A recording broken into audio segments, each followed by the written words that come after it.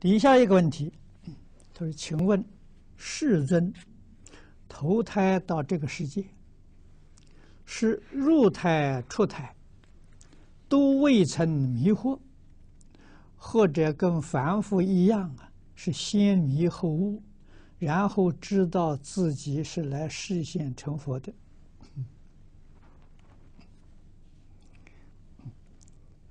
这个诸位要多看经就明白了。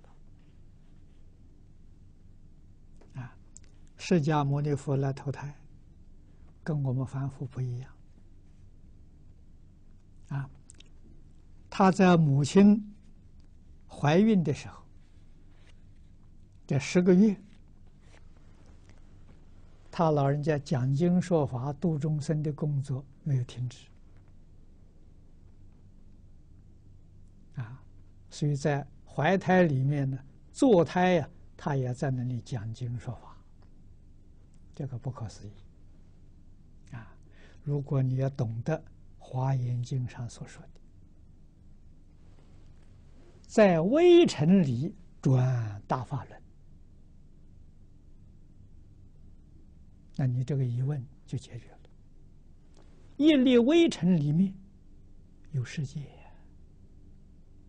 那个世界里有很多众生呐，也有很多诸佛菩萨了。这《华严经》上讲的。啊，一微尘里面，佛都在那里讲经说法度众生，那何况在胎泡里面？那胎泡很大，比微尘大多了。啊，所以这是不思议神通之力。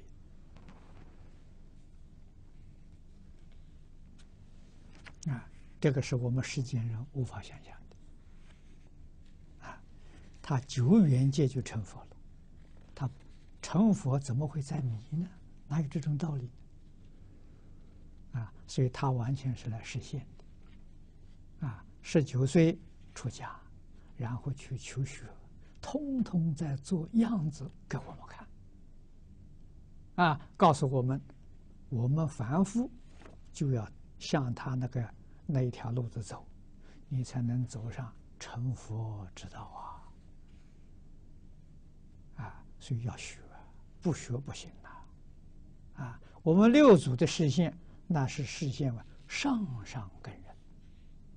这佛在经常常说，没见过，啊！所以六祖就实现一个上上根人，啊！不要通过学习，释迦牟尼佛通过十二年的学习，最后放下，啊！那么六祖大师不需要通过学习。当时就放下了，妄想分别执着一放下了，就回到自己的本来面目。啊，这两个视线给我们很大的启示。啊，我们要细心去体会，你就明白了。